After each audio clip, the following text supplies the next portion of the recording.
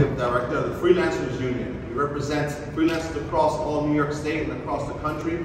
Uh, we're really proud to be here today uh, with Senator Gounardes, with Senator Bronson, who have uh, are leading the fight here in the, in the Capitol to ensure that all freelancers across the state of New York get paid.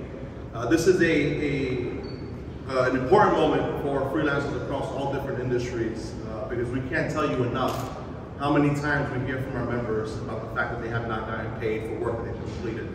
Uh, it was especially true during the pandemic uh, when uh, there were when the when the pandemic struck and we saw shutdowns uh, across the entire state. there were members who were not being paid for work that they completed in December, January, February that month.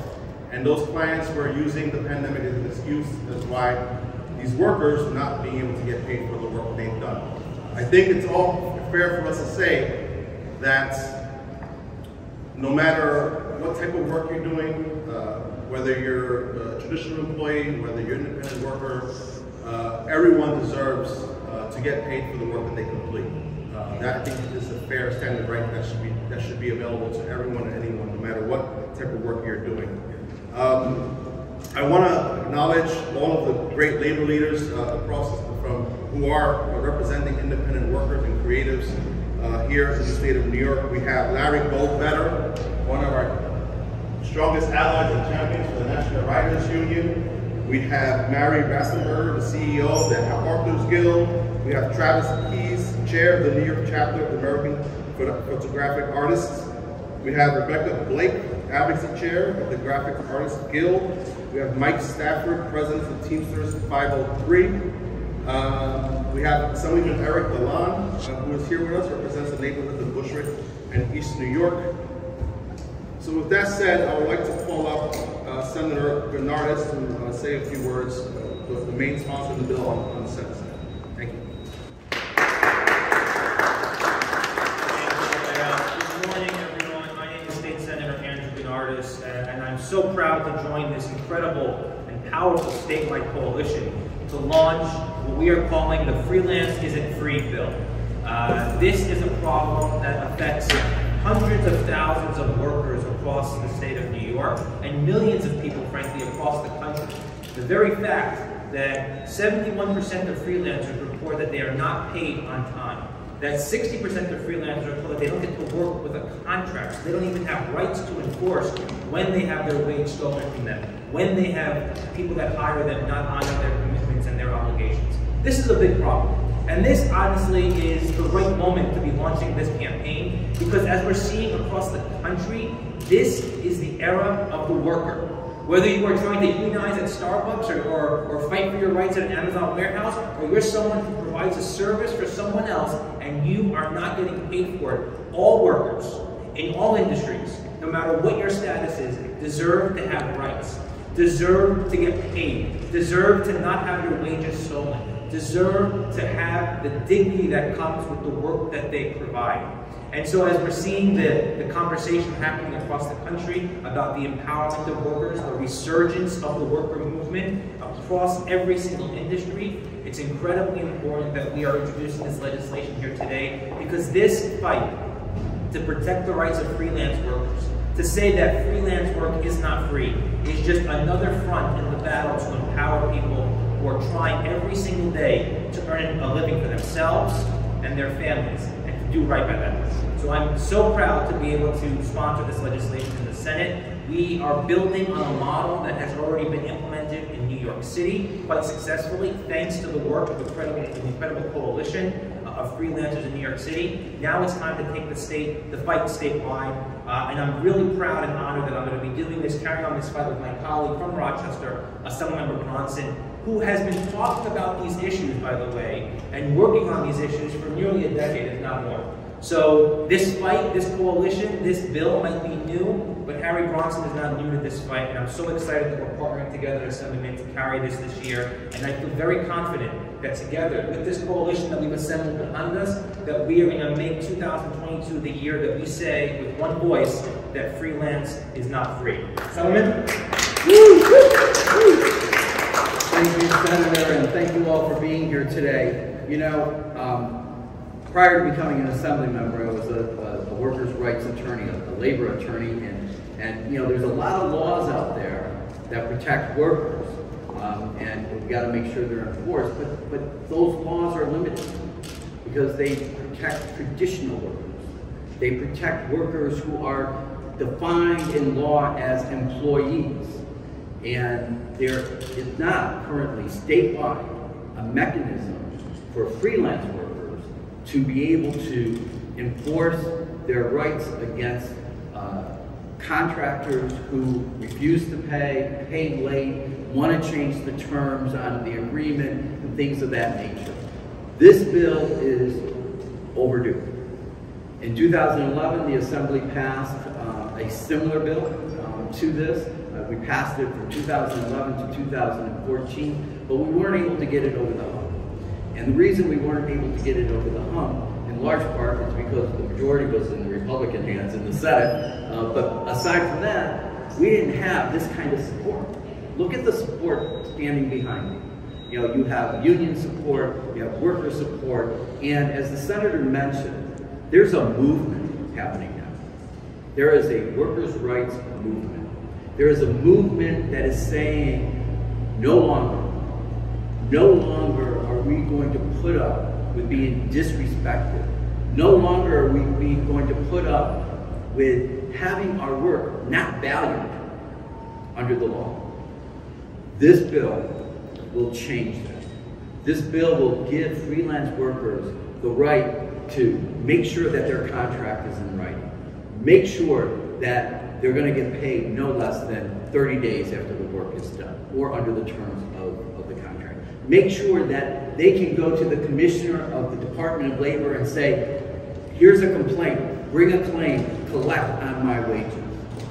Make sure that they too can go directly to court and say, I have this claim, and then have it enforced. And, and as a disincentive to the hiring individual, the hiring agent, if you don't pay on time, if you don't follow the contract, not only are you going to pay me the wages you owe me, but you're going to double it. And there's going to be civil penalties. And there might be criminal penalties. So we have a mechanism that's put in place that is going to make sure that we say all work deserves pay. All work deserves pay. Freelancers deserve pay. So honored to be with the senator, so encouraged that he is picking this up and taking the lead, and I'm honored that he reached out and asked me if I would carry the bill with him. So we look forward to working with all of the folks behind us to get this over the finish line. Thank you. Thank you again so much to both of you for your support. I also want to acknowledge uh, that we have some early supporters like Senator Jessica Ramos, uh, who's committed to support this bill, and Assembly Member Latoya Joyner as well. Um, with that said, I would like to call up uh, my brother in this fight, Larry Goldbetter of the National Writers Union. I want to join in uh, thanking all the elected officials in supporting freelancers and free. Uh, Our union is no stranger to the issue of non-payment. And over the past number of years, we've collected millions of dollars for unpaid freelancers, uh, having no contractual relationship with publishers, and, uh, you know, by either going through expensive court cases or pressuring the publisher uh, through mass action. Uh, but what's even more striking than the millions we've collected is the hundreds of millions we've been unable to collect. This is the business model for freelancers, not payment and late payment. And the freelancers are free will make that illegal. And that's why we're fighting so hard for it. And we have proof that it works. In New York City, more than $2 million have been collected for freelancers. And as we speak, the city of New York has filed a case against Seal, a uh, publisher of uh, Culture Fashion magazine. 30 freelancers are owed $100,000 plus a $25,000 fine for violating regularly the freelancers and free law. So we know that this works, and having it statewide would be a tremendous addition for freelancers, not just in New York, but well beyond New York.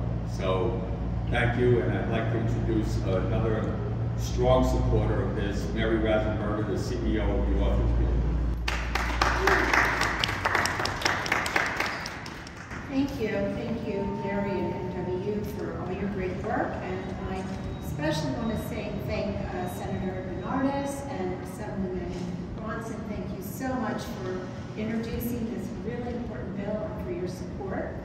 Um, on behalf of our 12,000 members who are all authors, book authors, and journalists, they all live and earn a living on a freelance basis with none of the protections that traditional workers enjoy, um, and that our laws have long given to employees. Today, there are many publications and publishers who take advantage of the fact that freelancers have none of these protections that employees have, and no means, no real means to enforce their contracts, if they even have contracts. We have seen a dramatic increase in the number of complaints from our members and other writers non-payment or payment that is months and months late. It's just not fair to these workers that they have to chase down their payments just because they're paid on a 1099 and not a W-2 basis. The Freelance Isn't Free Act ensures that freelance workers throughout the state will have enforceable contracts and that they are paid on time and paid in full. The law uh, in New York City will be extended to freelancers in the rest of the state, and it will give freelancers throughout the state uh, protections and fairness for this very vital important segment of the workforce. Thank you.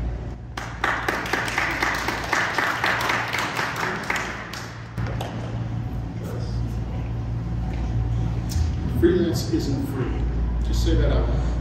It's amazing in this day and age that we actually have to say that. And I want to thank you guys for fighting for us when many people won't fight for us. I am a freelancer. I'm a photographer. I'm also here as uh, chairman of American Photographic Artists New York. Uh, we're a national organization made up of professional photographers. We're mostly freelancers. And the facts are important. One third of all the workforce in the United States are freelancers. 75% of them get paid late or not on time. We work hard for what we do. We shouldn't have to work hard for getting paid. This is such an important, important bill that you guys are behind. And I can't tell you the fear that we have in this day and age as photographers. I speak from the heart, very emotional, that it is hard to find a job now. It is even harder when big companies say we're going to pay you on that 30, 60, 90 days. And it's usually the bigger companies that do that. And then somehow in the 90 days, oh, the accountant was out, this happened or that happened, and we have no protection to go after that. Simple protections that we should get paid for our hard work. Because I guarantee you they wanted that work the next day for their social media, the next thing, and we provided it. And what happens is we get scared. We get scared that if we keep bothering them to get paid, what is going to happen is they're going to not hire us. They're going to hire someone else. So I thank you for this and how important it is. And let's fight together.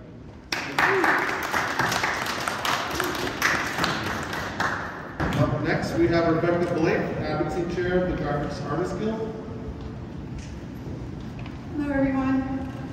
On behalf of graphic artists, illustrators, designers, web designers, cartoonists, animators, surface and textile designers, we really want to thank Senator Gounardes and Assemblyman Bronson for introducing this important legislation. From Syracuse University to RIT to our excellent state universities, to the downstate New York City schools such as Pratt School of Visual Arts, Cooper Union, Parsons, the New School, and FIT, New York has established itself as a hub for innovation and talent in visual arts. We have one of the highest concentrations globally of professional designers and illustrators, as well as media companies, publishers, and industries which rely on labor of these creative professionals. And yet our freelancers still encounter delays in payment, non-payment, and excuses for why they should be paid less. Travis summed it up beautifully. This is exactly what we are enduring. It is death by a thousand cuts. At the time the 2017 Freelance Isn't Free bill was passed in New York City, a study showed that the average freelancer lost about 13% of their income from delayed payment and non-payment. Thirteen percent. Average illustrator earns forty-five thousand per year. There's no wiggle room. How fitting would it be if New York State implemented the freelance isn't free legislation? It's about time.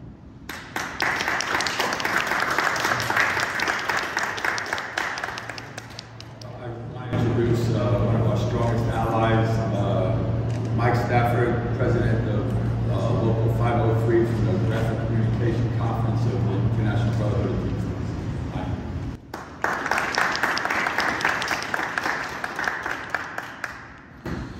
I'd like to read a statement from the, uh, from the GCC IBT, Graphic Communications Conference of the International Brotherhood of Teamsters is committed to ensuring that all workers are treated fairly. This is why we fully support common sense uh, freelance, and Free Act, which ensures that freelancer workers are paid for the work they do on time. Our brother, uh, our brothers and sisters in the National uh, Writers Union are working tirelessly to support and promote freelance workers. Our union knows that when any workers are treated unfairly, that all workers are at risk. Therefore, we ask the legislator for quick passage of uh, this vital important piece of legislation. Thank you. I would like to also thank the uh, senator and assemblyman. Uh, I've worked a long time with uh, Assemblyman Bronson and know how hard he fights for, uh, for organized labor and labor in general. So thank you to both. Thank you.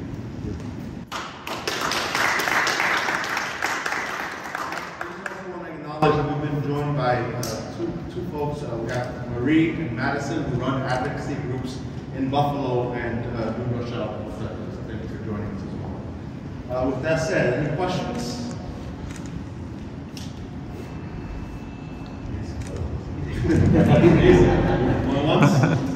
twice.